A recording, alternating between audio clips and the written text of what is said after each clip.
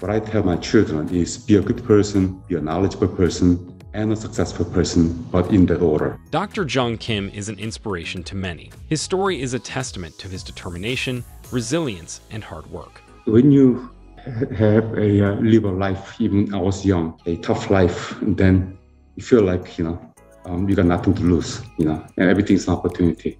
Most people think the chance of success is perhaps less than five percent. Five percent was good enough for me. At 16, living in the basement of his high school teacher, it was this teacher who made him realize that technology would shape the future. I joined the Navy when I was in college.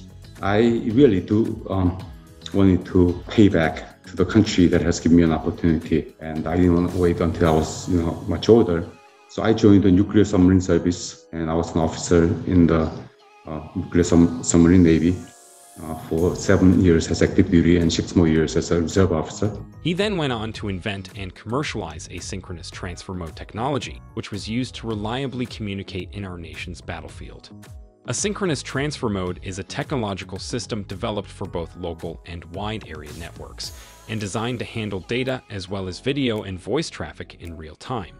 The system architecture makes use of switches that set up logical circuits at both ends of the data stream, which ensures unprecedented quality of service. Jeong H. Kim is chairman and co-founder of Kiswe Mobile, Incorporated, a startup focusing on interactive mobile video. Dr. Kim also served as president of Bell Labs, the communication industry's most heralded research organization. Dr. Kim has served on numerous organizational boards, including Samsung Electronics and Nuclear Threat Initiative.